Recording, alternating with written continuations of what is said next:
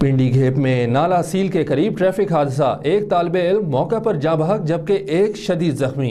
Report कर रहे हैं आमिर हुसैन। पिंडी गेम नाला सील के करीब ट्रैफ़िक हादसा।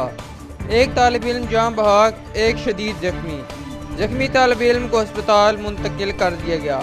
तफसील के मुताबिक, आज सुबह तकरीबन साढ़े छः बजे, पिंडी गेप के नवाई गाँव दंदी से हामिद इकबाल और उस्मान अपने मोटरसाइकिल पर स्कूल आ रहे थे।